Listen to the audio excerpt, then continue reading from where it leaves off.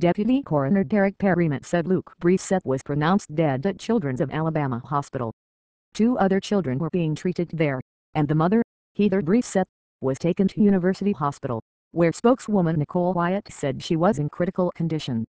Firefighters estimated the arrival departure sign at Birmingham Airport weighed 135 to 180 kilograms. Albert Osorio, 46, of Birmingham told All.com that he was close by when the sign fell. He said the loud boom was followed by screams from the family and witnesses. Then he and five other passers-by lifted off the sign. The whole thing flipped down on those kids. It took all of us here to stand it up, he said. Airport spokeswoman Toni Herrera Bast said officials aren't sure how the sign fell.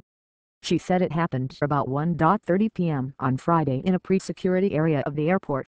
The airport continued operating while rescue workers tended to the family. The airport completed the first phase of a more than $201,193.55 million modernization effort and opened newly renovated concourses last week.